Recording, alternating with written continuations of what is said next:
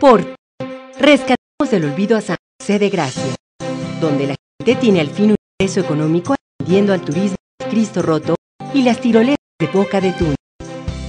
Mejor atención médica para las familias porque hay nuevos consultorios y más medicinas.